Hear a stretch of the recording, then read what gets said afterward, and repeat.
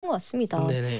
1114님, 대학교 때 저와 이름이 똑같은 선배가 계셨어요. 음흠. 이름이 같아서 선배가 첫 만남 때 굉장히 반가워해 주신 기억이 있는데 네네. 졸업하고 나서 친구를 통해 그 선배도 무즈라는 소식을 들었어요. 어? 친구가 이름이 김땡땡인 사람은 다 우주를 좋아하냐며 신기했던 기억이 있네요. 오. 혹시 이 라디오도 듣고 계실까요? 선배님, 저 사실 친해지고 싶었어요. 오 되게 신기하다. 우와, 보통 김 씨들은 다 우주 씨.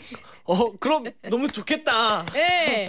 아, 손 씨도 포함해 주세요. 저도 아우. 손, 네, 손, 아유, 손, 네, 손 손 씨여가지고 씨, 김 씨. 감사합니다. 와, 신기하네요. 근데 되게 이거 진짜 신기하다. 그러니까요. 예. 아니 몰라 그러니까 알았는데 응. 이름 같아서 알고 있다가 응. 친하진 않았는데 알고 보니까 졸업하고 나랑 나서 같은 사람을 같은 어. 가수를 좋아하는 어.